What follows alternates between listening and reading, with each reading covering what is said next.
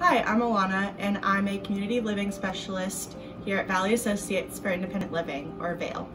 It's officially summer and as you all know, Virginia summers can get a little toasty. It's important to be aware of your senses and how you are feeling. Are you cold? Are you hot? Are you too hot? In this video, I wanted to go over some simple ways to cool yourself down in the heat and to stay safe. Water is your best friend. Try running cold water over your pulse points like your wrists, back of your knees, and near the ankles. Take a cold shower to cool down your body temperature. If you have a spritz bottle, take it with you everywhere. Try wetting a bandana and putting this in the freezer. Frozen clothes will help temporarily cool you down. Fans also help to cool you down.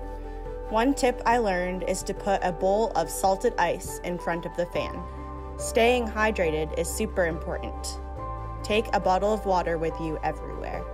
Dark clothes absorb the sun, so wearing light colored clothing is helpful. Peak sun hours are from 10 to 3, so if you are outside, try to go in the early morning or in the evening. A cooling vest is something you can try.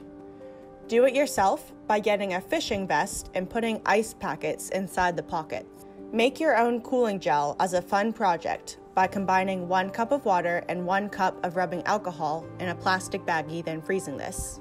Make sure you are not putting ice packs directly on your skin and have cloth in between the ice and you. Sometimes when it's really hot outside, the safest thing to do is just stay inside. If you don't have AC in your home, contact your local social services to see about cooling assistance.